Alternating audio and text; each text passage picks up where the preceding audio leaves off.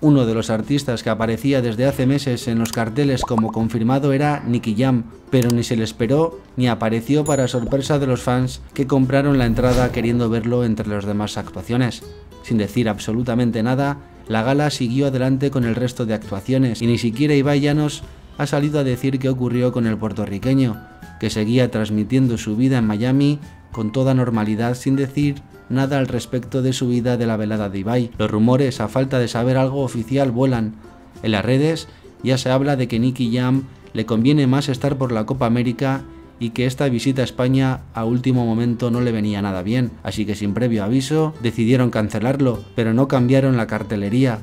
y otros optaron por pensar que Nicky Jam solo fue un reclamo para que el público tuviese el hype del momento con el cantante, que no estaba previsto que ocurriese. Por el momento ninguna de las partes habla de lo ocurrido, dando el misterio en el aire. Dinos qué opinas y suscríbete si no lo estás para más noticias.